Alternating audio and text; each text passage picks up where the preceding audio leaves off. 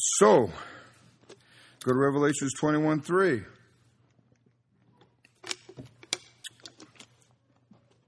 And uh, most of the notes in uh, Peter, S, uh, Peter Sturgis uh, Ruckman uh, Reference Bible, Amen, Appendix 40. you should do it Scofield Bible page. But anyway, if you're in Revelations chapter 21, we're going to continue uh, a little bit in, in not in the, the main three body, soul, and spirit, but I want you to see about New Jerusalem today a little bit and uh, what that entails and how you need a Bible to clear everything up because if you don't use your Bible, uh, what it says, then you're going to go on whatever a preacher said or what you think's right. And it'd be it'd be really be a bummer for you if you got all mad at everybody and you found out when you read your Bible it wasn't so. So it's really good to read your Bible, and if it's clear, you take it. You know, if it's not clear, you just going to have to surmise, I guess, for a while. But uh, it's very important that you understand this about New Jerusalem that you have an inorganic and organic. There's a couple things involved here in New Jerusalem. And uh, that's why there's a lot of confusion sometimes in commentaries. But here in, in Revelations 21 and verse 3, uh, it says this. Well, we'll just start in verse 1. And I saw a new heaven and a new earth, for the first heaven and the first earth were passed away, and there was no more sea. And I, John, saw the holy city, New Jerusalem. Now, did he see it? That's what it says, right? He saw it. Just, you know, always remember these little things like he saw something, okay? Because uh, there's a reason I'm saying this, because pantheism is, is getting popular again. I mean, uh, pantheism where there's gods in everything. You know, you're sitting on that thing right there. You know, since it's made of atoms, naturally, some Christians are going to say it has to be God because all things consist by Him. You know, next thing you know, you're going to be worshiping pews. You know, but anyway, let's read on here. It says, And I, John, saw the holy city, New Jerusalem, coming down from God out of heaven, prepared as a bride adorned for her husband. And I heard a great voice out of heaven saying, Behold, the tabernacle of God is with who? Is with men. And he will dwell with them, and they shall be his people, and God himself shall be with them and be their God. So, what a verse. So, but when you go into commentaries, there's not one really that discusses how a city can be a bride.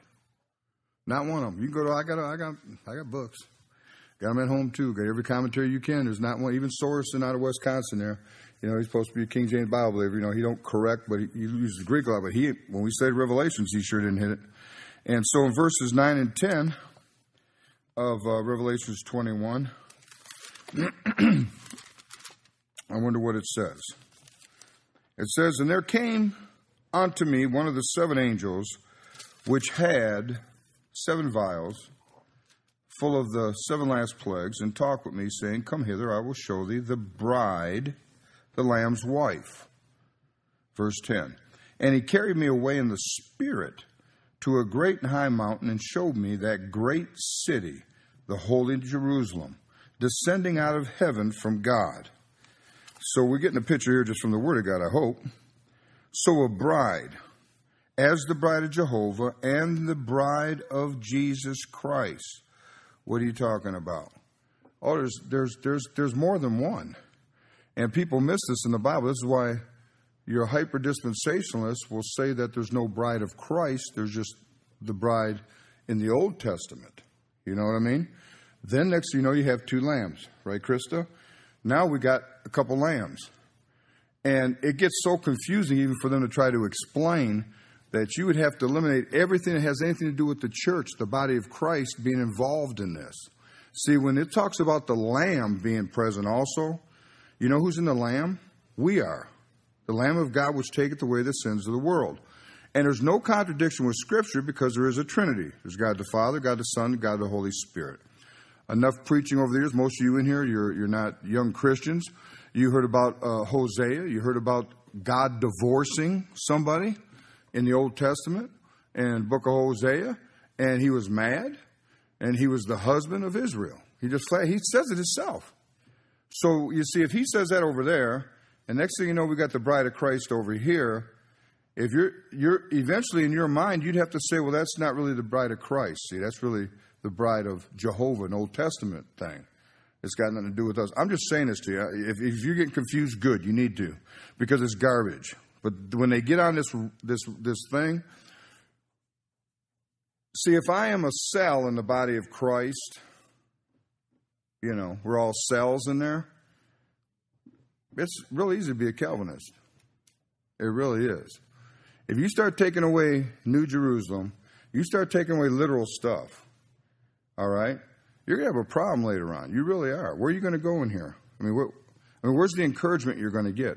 It's, it's like people, it's, it's like these people talking about we're going through a tribulation period. I mean, the very Bible says, comfort yourselves with these words, you know, over there in, in, in Thessalonians about the rapture. So if you don't believe the rapture is going to happen, if you believe you're going through this, what kind of comfort is that? I mean, are you comfortable with your government right now? You know, it's getting worse. And you're going to be comforted going through the tribulation period? That makes this stuff look like, man, like child's play. No, I don't think so. So when you read your Bible, you read it as the very words of God, you read it in the context in which it's written, and you have to ask yourself, who in the world is it talking to at the time? And you got to place yourself doctrinally, who is it talking to at the time? Because that's the way you read anything, you know? Who's he talking to? What is he saying? When is it happening? You know. And if you don't read your Bible like that, you can get you can get pretty well confused. That's why a lot of times when um, people get doubts of their salvation, I mean, all you got to do is mess up outwardly one time, right?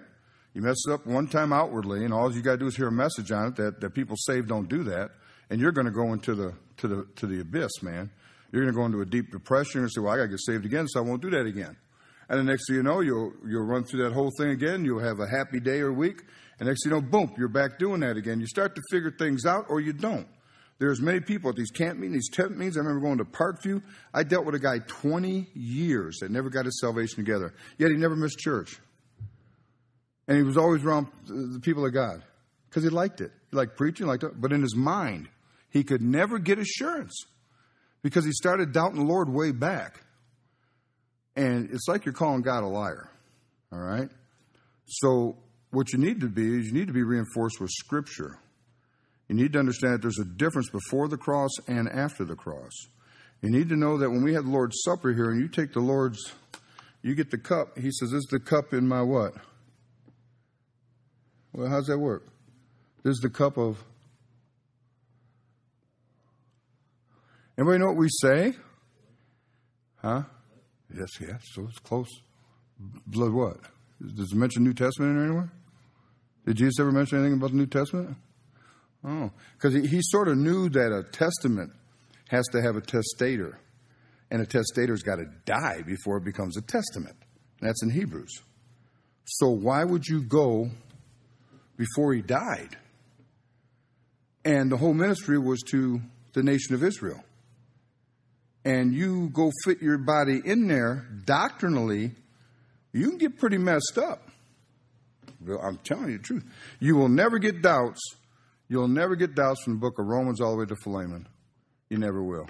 If you do, there's, you're, you're, you're weird. We have to talk to you about that. None of those ever got me doubting anything.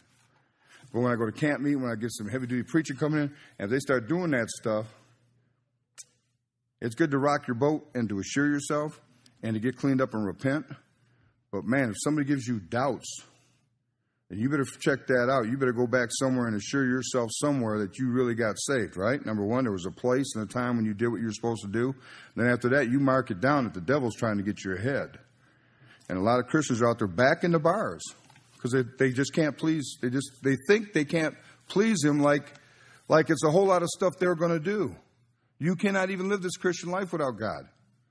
If God's not in you, listen, if, if, if God is not in you, empowering you to give victory, you ain't making it.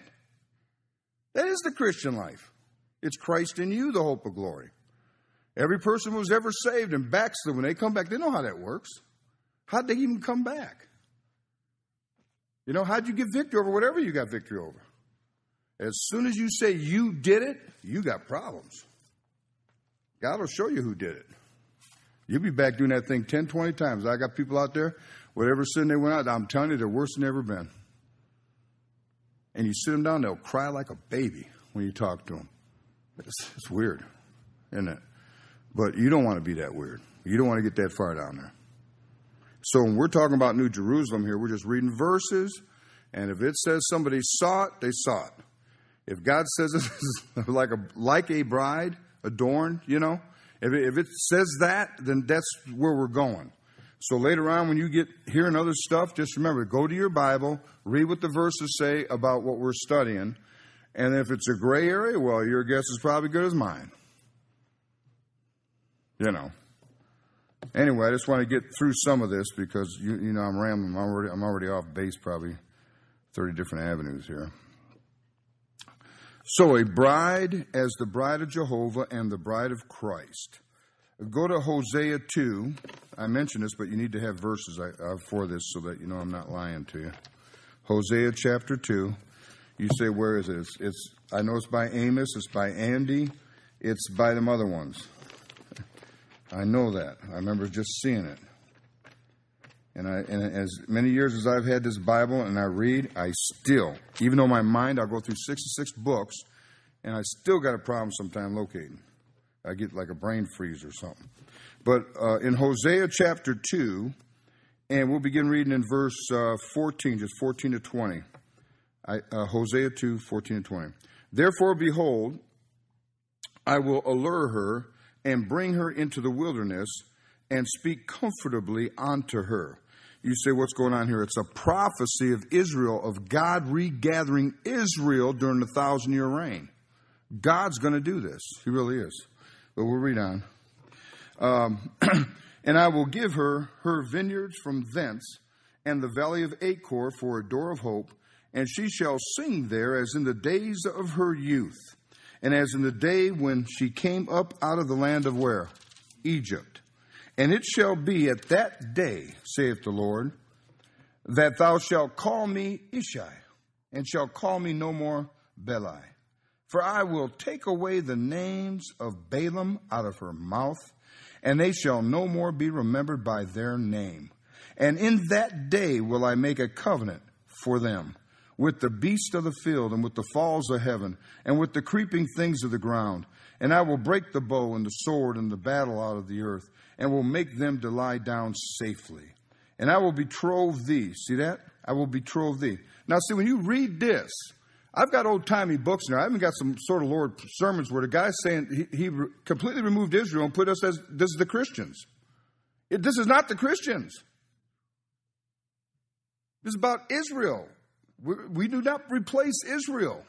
Israel's not gotten rid of because they, they so called crucified Christ, like the Catholic Church likes to say. No, no, no, no.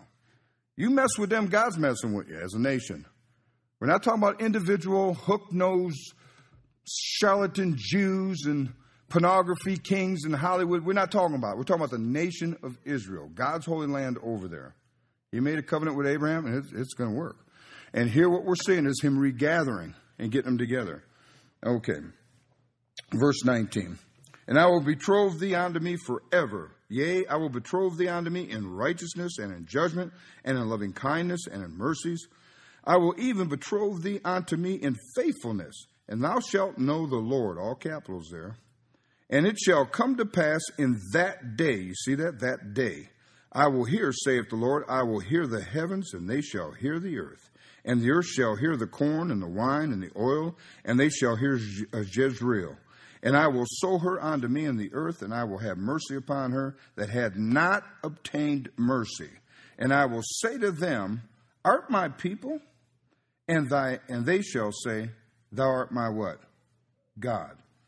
Now see, you gotta watch if there's spiritual applications, that's what preaching comes into. But contextual and, and doctrinal, you got to watch that stuff because you got to ask yourself was there anybody back there born again by the Spirit of God? And then you got to get them verses and all the messages that you heard in your mind. You got to go look through the scriptures and see if there's any of an account of any of that stuff, you know?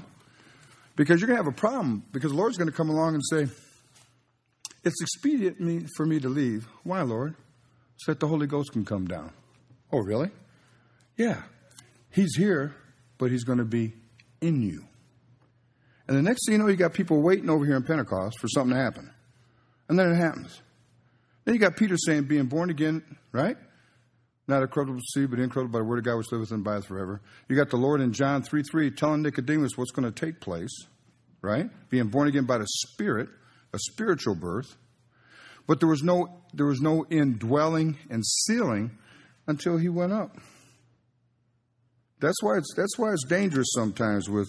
And Baptists are, we're notorious for we preach principles, we preach standards, we preach things uh, from any part of that Bible. All scripture is given by inspiration of God and is profitable. What's it profitable for? Reproof, right? For instruction, right? And uh, for what else? There's a third one. Reproof, instruction. Yeah, yeah. Two negatives and one positive, right? And there's application, right? There's doctrinal application, there's spiritual application, prophetical application. And a lot of times people miss that. And if you do, you're going to get caught up with all this stuff going on now with all these different, even some Baptists are getting Reformed Baptists now. They're getting Calvinistic. They think they're bringing in the kingdom. And uh, we're at school with the Methodists, and, and they actually think they think we're going to overpopulate the world if we don't do something. They're going to think, you know, it's, it's our responsibility to do all this stuff. You know, and these old black gals and who's got better sense than them. Well, won't those wars and them diseases probably kill most of them people for you? Yeah. Well, yeah, that, that's a good point. It is a good point. Like, like, like all of a sudden, where's God in all this? Did, did he say something in his Bible about what's going on down here? And you're a Christian. See, so, so your kids See, pretty soon that kind of Christianity will be acceptable, probably even in public schools eventually, because they'll get along with the Arabs, they'll get along with everybody and their mother, because they believe everybody has a little divinity in them. They believe in that pantheism. We're going to get to that. And uh, what are we trying to study here? New Jerusalem. Why are we getting all crazy here? Because that's just where we're going to start. You're going to have so much stuff to think about. Go to Ephesians chapter 5. Now, you saw in Hosea talking about he was going to regather these people in that day. Remember that? Ephesians chapter 5.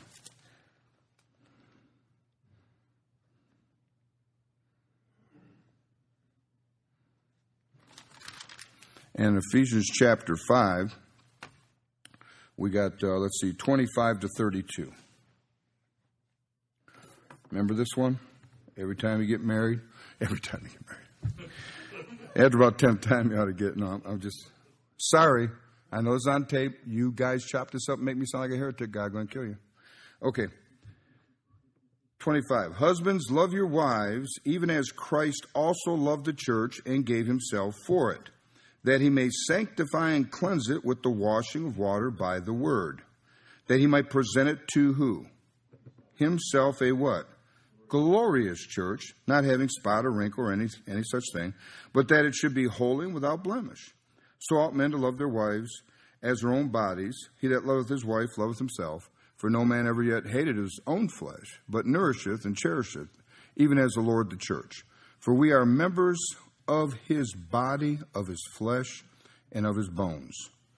For this cause shall a man leave his wife and mother, and shall be joined unto his wife, and they shall be one flesh. Now, see, look at verse 32. This is a great mystery, but I speak concerning Christ and the church. Nevertheless, let every one of you in particular so love his wife even as himself, and the wife see that she reverence her husband. So, what does this mean? This means when you got saved, you became one flesh with who? Jesus Christ. Right? That's what it says. Go to the Old Testament and find that.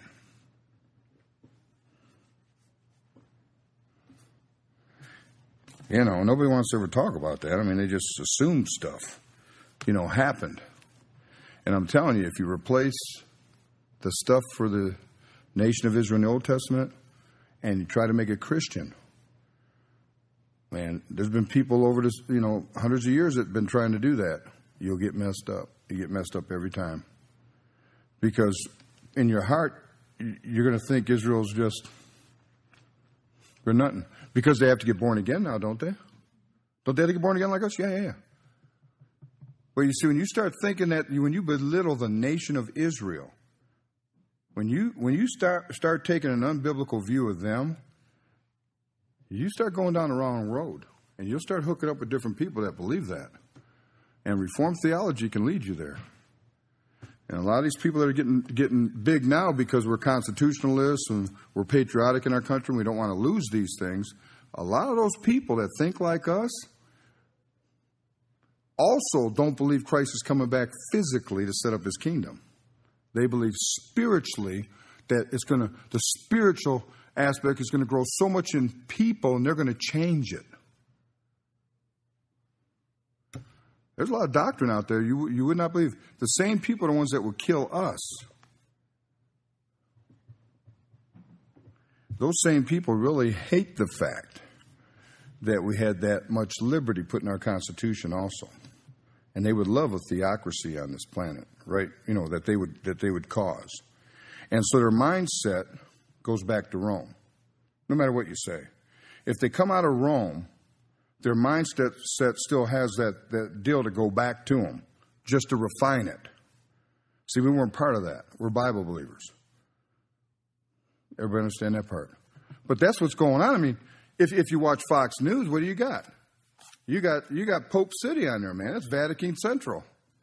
I mean, it really is. I watch it, you know, and I'm watching. I'm saying, and then and the next thing you know, when the Pope does something, say, "Oh, the Holy Father," you know, like you know, the Holy Fathers. I'm saying,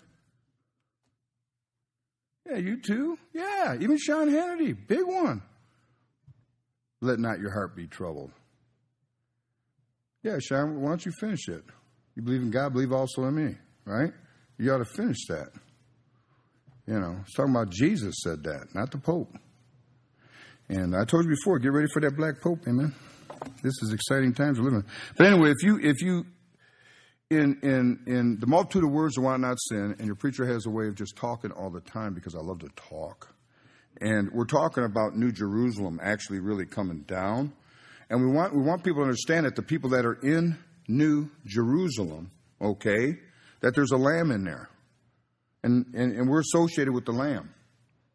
And the more you read, you're going to find out that you don't see us plowing you know, you don't see the church down there having any having any control over the land, like they try to say we are. No, no, no, no. We're in Christ Jesus. You understand that? He is ruling and reigning. There's going to be actual people, Jewish people, that are going to repopulate. I mean, they really are. All the promises are to the land to them in the Old Testament, not to us. See, we get it's sort of a neat thing right now because you, we can pray and we got Abraham, you know, spiritually speaking, and and if and if we do what we're supposed to do, we're going to get blessings down here too. But that's not that's not our main thing. Our main thing's up there with Christ, ruling and reigning with Christ. We're going to find out there's a difference. There's a difference between us and them and it's a good thing. But we're both going to be able to go into New Jerusalem. And the people that are here that are not Abraham's seed, they're going to bring gifts and everything into there. Yeah, they're going to come in. Matter of fact, there's going to be some trees growing, and the leaves of those trees are going to heal the nations. That's during a thousand years. See, God's got a provision for them physically, is what I'm saying. Because you do know there's going to be some people didn't take the mark. There's going to be some people that were friends of the nation of Israel. You know, God's going to have mercy on some people. You, actually know that they're going, they're going to come through, right? I mean, you have read your Bible. It's not like us beam me up, Scotty, and we're we're up there and we're you know we're, we're we got our we got our new body. Didn't, didn't the Bible doesn't the Bible say we got a new body, fashioned like His glorious body? Where's the hook nosed Jew that ain't born again in the Spirit of God got? I don't find that in there. Oh, but preacher, no, no, no, you ain't getting me on that path. No, no, no, no. If he gets born again by the Spirit of God, business will pick up. If he dies without Christ right now, oh boy. But did God promise Israel? Did, did, are they going to have a remnant that's going to believe? Yeah. Uh, in Ezekiel, I think it's 37, is there going to be a valley of dry bones and, and, and all of a sudden there's going to be a resurrection there? Yeah, do Jews believe that? Yeah. Real Jews believe that. They really do.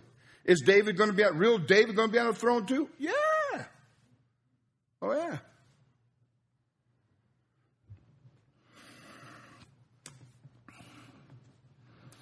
And we think about this, and we think about what it said, though, uh, you know, in, in, in how it uh, personifies, uh, New Jerusalem personifies uh, an individual.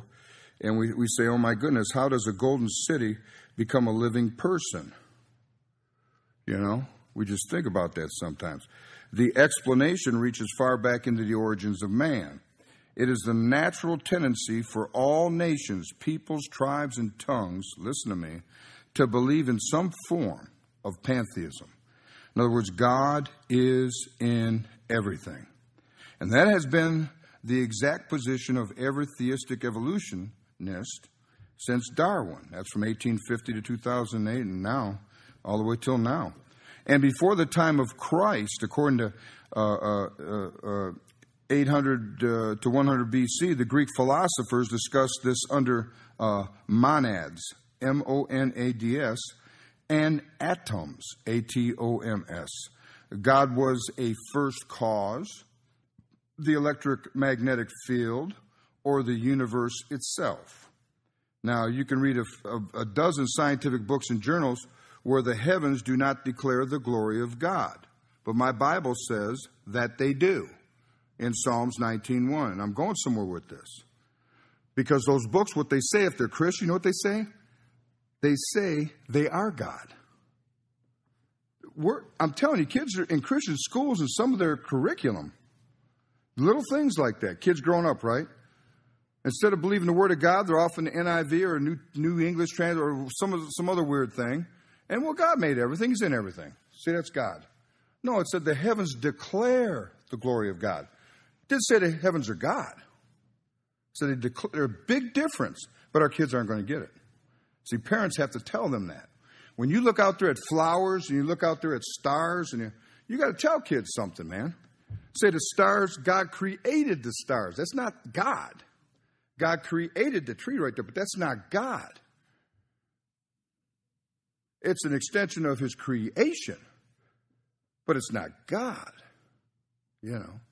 And you can demonstrate that by just, you know, crushing a, if you're cold hearted, you could probably get a nice pretty rose, show your little girl that. See how nice this is, Elsa? And then go, it's not God. You can't do that to God. Let me see that King James Bible and they light it on fire like they're going to kill God and I'm, I'm going to have a heart attack. No, just get me another King James Bible. It's not God. It's God's Word. And God's Word ain't going to work without God's Spirit. You can burn this all you want. You can burn my body. You ain't getting rid of God. But that is the feeling. That is the sense. So just so you can keep that in mind. And um, that this philosophy's been around. Our kids are being saturated with it with cartoons on Sunday. I mean, and everything else that they get. So they have uh, things have to be reinforced. Like I told you Sunday night, it, you can't, nobody can live in a capsule anymore. You, you can't have like a whole neighborhood that's clean. You just can't. You can go, you can go, I'm telling you, you can go to Alaska. And we've got missionaries that went way back with the mucklucks. And all of a sudden they find a satellite dish. You know, it's like a cartoon. It's like a cartoon strip. You, you got an igloo with a guy puts a. Uh, it's, it's, oh yeah. Well, what can they pipe in there? Anything they want to pipe in there. It, see, it ain't, it, oh, I'm going to get away from everything. Well, if you do, you're going to have to really get away from everything. You know, then there's no hospitals, no doctors, and you're going to find out what's going to happen. Why? Because God said you're not supposed to get away from everything. God says you're in the world, just not of the world. So when it starts heating up and getting real bad, it's going to require uh, a different kind of character in Christians. See, when they get saved over in these other countries like China or that, they already know they're going to die. I mean, they just, they just as soon as they say, I do to Jesus, they know they're going to die. They're ready. Not he, because they, if they get caught, they're, they're dying. So when they, when they cross over, they cross over.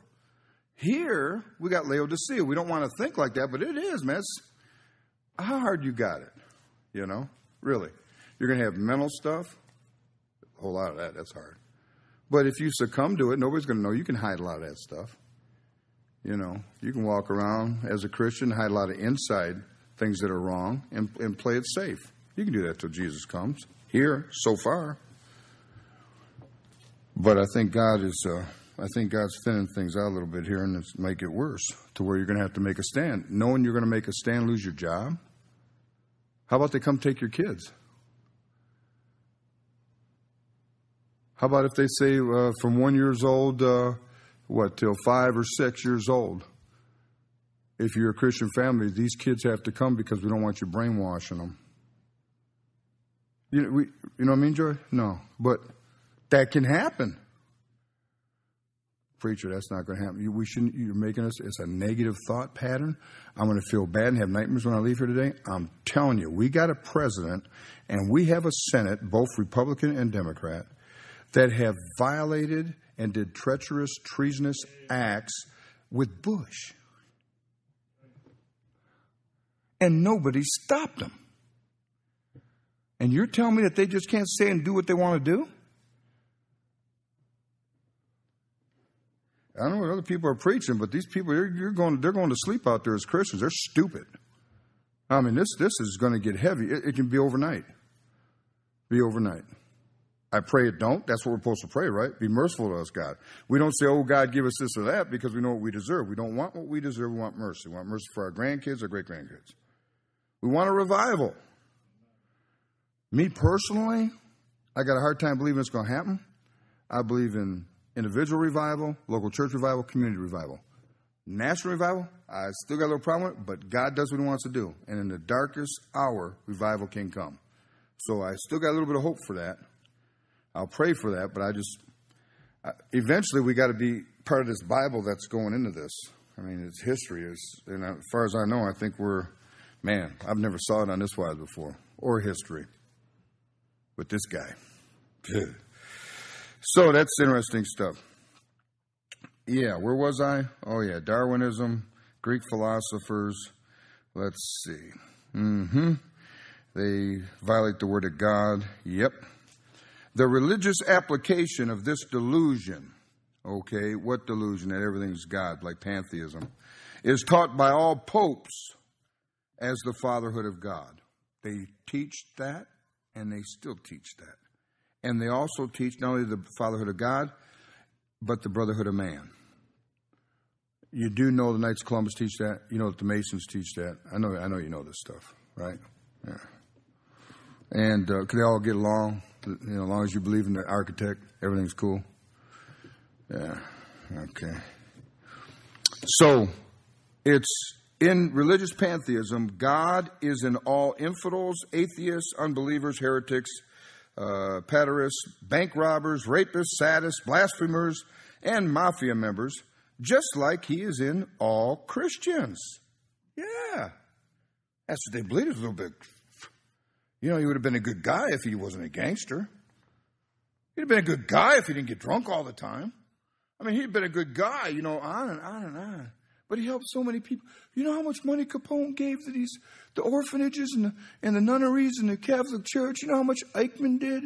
You know, you know what Hitler did over here? You know, they, they really had a nice thing in them. You know, and the people will say, yeah. I grew up in that mess, man. Oh, he's okay. He's got, listen, everybody's got a little good to him. You know, just watch him. No, he needs he needs to have the junk beat the he needs to have it beat out of him now. Oh, but you know he'll he'll come beat it now. He ain't got nothing in him that's good. Stupid. You know. I mean, when they start, uh, you know, killing everything in your house, I mean, it's time to investigate a little bit. Where are the kids coming from? Because you may wake up with a couple stab wounds. You know, these people letting these kids go crazy because this philosophy is behind it. 1 Corinthians 3:16 Somehow we're going to we're going to keep doing this and it's going to be New Jerusalem, all right? We'll work this out. We're going to get into the lively stones. We're going to get into this, you know, how it's built. We're going to, you know, it's just going to be beautiful. And then when we're all done and it's all said and done, we're going to walk out there and we're going to say, Boy, that was good. What did he say? You know, you do that year after year and some of it sticks. You know, I have notes that I can go to, okay? You know. So preachers always look like they're smart, but they read notes and stuff. Sometimes you forget that because they never say that. They want you to believe. I'm stupid. I'm just going to tell you. I got to borrow brains. And that's what I do. Amen. So over here in 1 Corinthians 3:16, 1 Corinthians 3:16, let's see what it says in 1 Corinthians 3:16. Got to find 3:16. Okay. Know ye not that ye are the temple of God, and that the Spirit of God dwelleth where? In you. Okay? And who's he talking to? He's talking to believers. Not to non believers, but to believers. All right? And then the other uh, famous verse here, let me see, it's Colossians 127.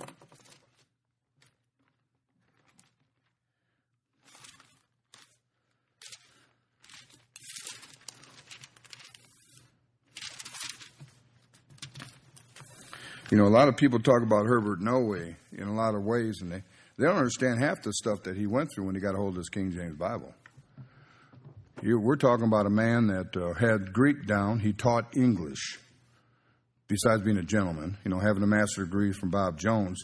So all that formal education, being brought up under that, and then all of a sudden getting a hold of the King James Bible being the perfect Word of God, do you understand what he had to do? I mean, you know, when you really think about it, he had he had to go against all that and the people behind it to make that kind of a stand.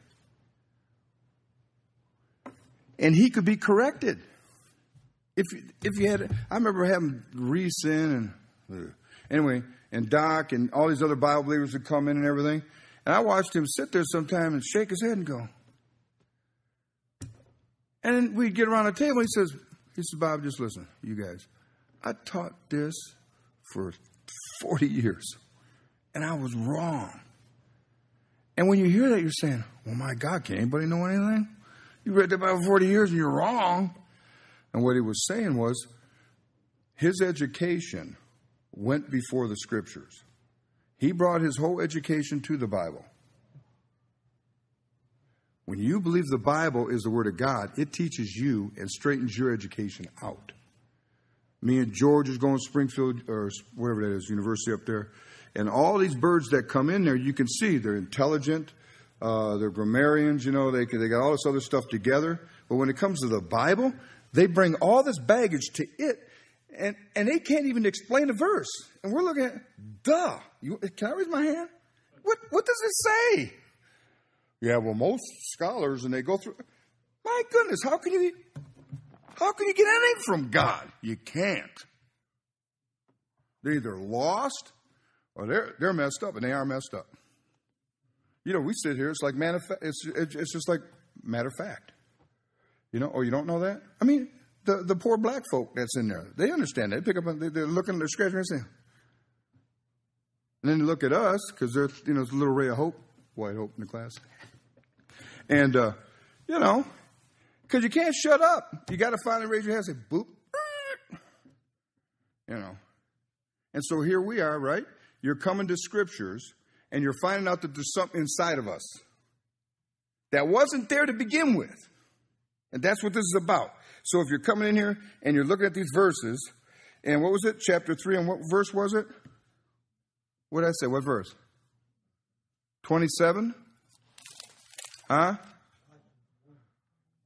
Colossians 1 what? Okay. And it says what? To whom God would make known what is the riches of the glory of this mystery among the Gentiles. What is that? What is that? Which is Christ where? The hope of glory. So, you're going to tell me that this mystery was revealed in the Old Testament, that it was going on? No. You know, Paul got seven revelations, right? The mysteries. I think we did we cover that? I don't know. It probably will be coming. You got the mystery of the church. You got this mystery. He came unto his own, and his own received him not. Remember that? But as you read Matthew, who went for Jesus? Gentiles. Right? The ones that believed. And then all of a sudden you get around uh, Mark, where it shows him as a servant. And them Jews still buy him, and he'll get somebody else. Another Gentile comes forward, right? All the way to where all of a sudden you don't hear nothing but about Gentiles in John. Was it mentioned? Remember, remember the, the centurion by the cross? Surely this is truly the Son of God. Well, all them Jews didn't get it. Did you know that, that uh, our Lord and Savior Jesus Christ over and over again told his disciples that were ate with him, fellowship with him, saw the healing, everything, that he was going to die and in three days he was going to resurrect? He told them that. And did you know they didn't get it? And do you know I could take you to the book of Galatians? And the book, book of Galatians says people that don't get the death, burial, and resurrection of Jesus Christ is because the God of this world have blinded the lost? So you saying them guys was lost? No way, I ain't touching that. But something was different. They didn't get it, but then they got it. They got it afterwards. But you can't make it to heaven not getting it.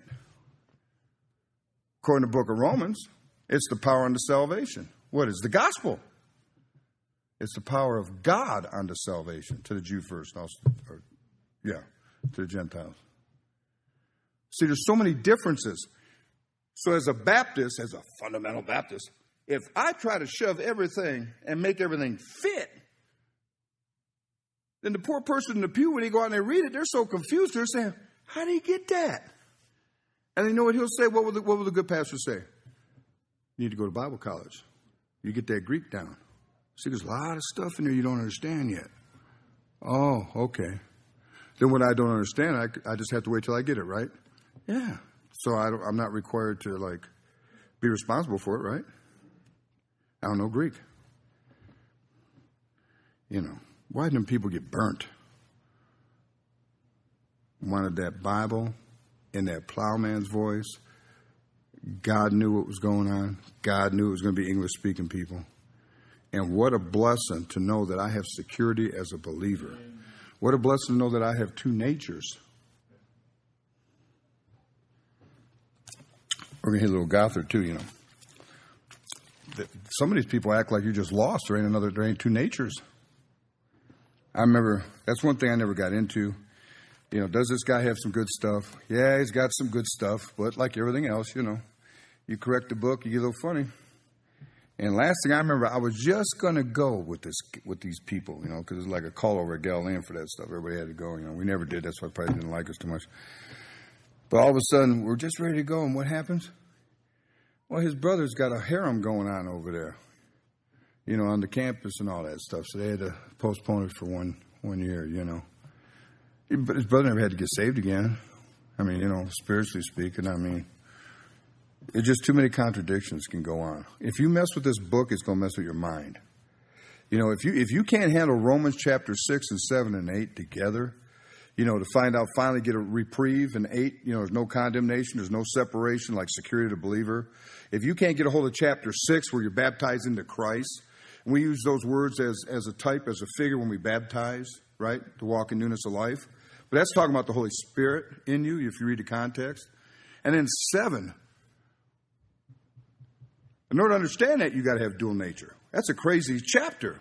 When I first, when I was young the Lord read that, it was like a tongue twister, like somebody had a rap song going on. You know, want to do the things I did, but couldn't do the things I would. And, you know, and all this stuff, you know I'm saying? I think I, I think I understand it, but I don't get it. And I had somebody just verse by verse, real slow. Wow, that's what I'm going through. And who said that? Paul said that. And what did he say? Oh, wretched man that I am, who shall deliver me from this body of flesh? And who did he thank? Lord Jesus Christ. See, so there's a lot of stuff that's deep, but the deeper you get, it's almost like it's simple. As soon as you get it, it's like it's down. Okay, I understand now. Because even people that are backslidden, they know that they're doing wrong with the Lord, but they're not listening to the little, the, the, there's like an intuitive spirit, there's like a voice or something that, you know, and they just get, they get stupid. And if they're never taught the dual nature, what do you think is going to happen to them when they get out there? You know what they're going to come to the conclusion is? I'm not worthy. There's no way. I can't do it. Your kids, I got kids, they get in that mode, that's it. They could be saved, but they've been calling God a liar. God's not blessing them for that. And once you get out of that protection, out of the local church, away from people, it's bad. So what do you do? Well, people that are in, you pray for those that are out. And you don't stop. And you don't give up. Why? Who in the world are you to say that God give up on them? I'm 62 and it's it's been this year has been so rough on this preacher, showing me unconditional love from God that I feel miserable like a worm that I didn't have enough mercy on people. Because when you read the Bible, God never puts anything on his children. You read the Bible about our Heavenly Father and our relationship, He always does stuff for us, not to us. And it's unconditional love. And that's heavy. Because everyone I thought wouldn't make it, not everyone, but most of them, boom, next thing you know, they're making it. And then I get jealous. How dare them? You know how they lived, how they talked, how they acted. What God blessing them for? Next thing I know, God starts showing me this elder brother over there, you know, thing. You know, like remember when the son come back? You know, all these messages start coming together and say, Oh, that's you. You're the elder brother. You just stayed by the stuff, didn't you? Yeah, poor baby. Yeah, yeah, yeah. And he's getting all the good stuff, right? Yeah, yeah. But he's got all the baggage. So you don't know about that, do you? And you see, he's going to be more humble and be better for the Lord than you with your attitude. Because he's, he knows what this can do to you. And a lot of Christians don't know that. And that's where you become a Pharisee. Because if you don't know that, if you don't really think you can go that way, whew, that's why everybody usually says, the old timers all say, but for the grace of God. You know, because they know what this is capable of doing. It, it can turn like that. One thing can hit you, and you'll be out. Scary. You got all that preacher out of New Jerusalem? So far, yeah. Because we're trying to show you that God's not in everything. You know, He's in the third heaven. His Holy Spirit, He can be wherever He wants to be, whenever He wants to be, and He's all powerful and all knowing. But He creates things. And when He creates them, they're not God. He created us. We are children of His, but we are not God. And when we die, we're not going to be like Mormons and become gods. This is not Greek mythology, you know. But that's the direction that it's going. That's why the Mormons are going to get along with everybody. They're all going to, I'm telling you, it's coming now. It's really coming together for these people. Okay, I'm, I'm trying to at least get to, to the first paragraph. Okay, got there. And, uh, and then we got to notice how the book gives you two alibis, two alibis to damn yourself. What do you mean? Go to Matthew 23 9. You know what alibi is, right? Oh, but God. You know, that kind of thing. You ever try to negotiate with God? I mean, you know, certain things have to change in your life. You got to eventually start to love God rather than fear Him. You know, that would help. And, uh, and when you do that, your prayer life will change a little bit.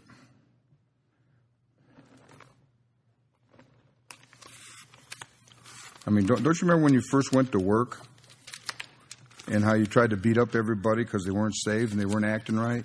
I mean, I do. It took me about, I don't know, five, six years. God says, shouldn't they be doing that? You know, I know he did it because I'm not smart enough thinking about it. And I'd be arguing in my head, too. You know, are they lost? Yeah. How lost people act?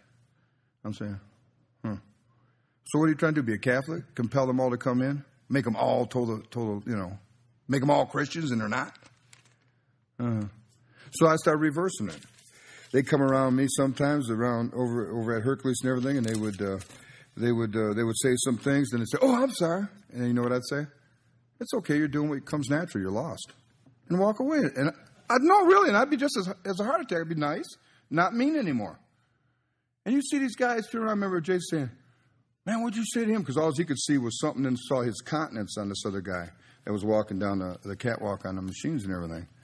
I said, "I said nothing bad to him." He goes, wow, it sounded like he cussed him out or something. I don't know. It looked so bad. And it dawned on me, man, that's better, man, that conviction. Oh, man, he had to walk away and think about that one. Here he's a good Catholic and everything, right? And I'm over here saying, well, you know, you're lost. That's just what you do. And that's what I did about all that stuff. The dirty books or the alcohol, just nice. You know, they'd always say, oh, preacher, I'm sorry. Did you see that? So we started putting magnets in our lockers. I got pictures of that over there for 10 years. As soon as we opened up our lockers, I'm telling you what, business picked up in that thing. Everybody, it was just weird. You hear them cussing, damn, and coming in the back of the locker room, you know? And all of a sudden they come in while we're changing our lockers off, and all of a sudden you hear them, they just shut up. And we didn't make them do anything. Just something happens. Okay, Matthew 23 9. Let's see what this says. And call no man your father upon the earth, for one is your father, which is where? In heaven. You see that now? See, see that verse that they use for the fatherhood of man? That's your excuse, isn't it? That's the only verse I can see like that that they use. And then let me see this other verse here. Hmm. Acts seventeen twenty six. Acts seventeen twenty six. Because you see, the people that believe this philosophy were after the completion of the Word of God, okay? It wasn't like all of a sudden, boom. I mean, we're talking about the Christian people that believe that fatherhood of a man and uh, whatever that is, brotherhood of man, and, and, and God's your father. So over here in Acts 17, and when I when I'm doing this, just giving you a verse here or there, I'm just showing you that you can get you can get probably many more verses on your own to prove you know to get against the argument. But here's here's the other one. Look at verse 26. And hath made of one blood. Do you see that one? This is Loretta King's famous verse. All nations of men for to dwell on all the face of the earth, and have determined the times before appointed and the bounds of their habitation. But you'll never find the last part of that verse in any newspaper articles or anything. It's always the first one. We're all of what? See that? And hath made of one blood. So you take a couple verses like that, you got an excuse, right? Hey, we're all brothers and sisters. And God's the father of everybody. Because don't call no man father down here, But for our father's up there. There you go. Case closed. They got it together. Those are the things that they use. And you may have noticed how carefully people like Joel Osteen, Benny Hinn, Rick Warren, I'll just throw Bill Gothard out there, youth tension conflicts, were to obscure the clear lines between sinners who are dead in trespasses and sins and filled with the unholy ghost, according to Ephesians 2 1 to 2. We'll see that in a minute. And sinners who have experienced a new birth and now have two natures instead of one. Now, what we'll do is we'll, I'm looking at the time, so we'll, we're going to stop here, and I'm going to try to come back to this to just to show you that the philosophies of Rick Warren, when you start getting into their, their, their doctrinal stands, you're going to be you're going to be amazed at how they don't understand the dual spirit at all. The dual, not the dual spirit, but the, the dual nature at all. It's either or, and they'll work on you like that. And that's why a lot of people that go through a lot of these conflicts have conflicts. Because all of a sudden they start searching and saying, Well, am I saved? Miss Tantanella did that. She went, she went almost nuts. And she was at temple with us and all that. But once you get that, when you start getting too deep and you're thinking that I can't do this, if, if you don't think that you have two natures, a divine and an old man, and somebody's trying to tell you that if you're saved, you know, this has been like killed, like, you know, you shouldn't be having it rule, you go nuts, man. Won't you? I mean, you, you did enough stuff today, the thinking and everything, to, to send you to hell. If you think about it, how holy were you today thinking? I ain't talking about outward stuff. I don't smoke no more. I don't drink. No, I'm talking about your inside. I mean, really. I mean, if we were if we were playing that one, you know how many times we have to get saved a day? I'm not doing that again. I can't do it. I didn't get doubts of my salvation till senior in college. I went to camp meetings all the time, listen to all sorts of weird stuff sometimes. And, uh, you know, and it took me three years, you know, hiding it, keeping it suppressed, you know. And, you know, and then going down and begging God, oh, please, please, please. And, you know, and here I am preaching that this is the Word of God. I believe the Word of God is the Word of God. I believe it's the Word of God without my emotions. I just believe what it says. Right? And here I'm going through all this, you know, emotional stuff. And the Word of God's still here. The words are still on the page. And then God took me to the old fashioned Romans Road down in my basement over on Tireman. And I was reading the Romans Road, and I don't know why I was doing it. I was I said, oh, maybe, maybe now. And all of a sudden, it was like a, a voice or something says, You want me to break through the ceiling, maybe? You want a big light? What you want me? You want a loudspeaker? What do you want to know? You know, and then as soon as I like intuitively heard that, it was like then all of a sudden the Holy Spirit showed me, How did you leave the club? How did you get to where you are now? What in the world are you thinking about? I'm saying, boy, then I got under conviction saying, I'm sorry, God, I'm sorry, God. Oh, God, I'm sorry, I'm sorry. I mean, how in the world did I end up over here if it wasn't God? You know, your mind. If you're not in a doctrinal church that's preaching doctrine, you're going to be floating around. You're going to be up and down. You know? And so I thank God for the anchor. And I thank God when I look at a pew, it ain't God. God could be sitting there, but that's not God. I look at a beautiful tree, beautiful landscape. I see the handiwork of God. I don't see God. You know, I take that old axe or that chainsaw, cut them trees up. I don't hear nobody, help me, help me, help me. I don't hear that. I'm sorry. I'm not going to hear it. If I hear it, I'm going to have to check my medication. Now, these other people don't even take medication, they're going to be hearing it. Why? Because in the Old Testament, when they started making groves and statues and everything, inanimate objects, you know, things that are hard, and God says they got ear, they, they have ears but they can't hear. Eyes, you know, He's making fun of these heathen, but yet those heathens did hear something, did see something, because there was a spirit with that stuff. There's an evil spirit, and that statue will talk in the tribulation, just like Mary's crying somewhere, some statue. And they base their entire salvation on these kinds of acts because they don't have the book. That's why they want to get rid of us. See, because there's no way in America that we can be a superstitious people unless we remove this book. And once you're superstitious, you see what's happening already with people not understanding the power that the people have that put these jerks in there. We have enough power, enough people right now to kick them all out. I mean, we could rush it. And that military would be behind us. The good guys in Congress would be behind us, but nobody's got the. Well, oh, I can't say that. Anyway, there's, there's just a different spirit because people are fearing for their lives. They got no security. They got no. They don't know where they're going when they die. They'll do whatever they have to do to secure their life, even if they have to give up the country, because they, they're afraid. They don't know where they're going. That's superstition. That's where the Catholics rule on that stuff. They got that down. You know, they create the witches and they kill them. Right? That's what they do.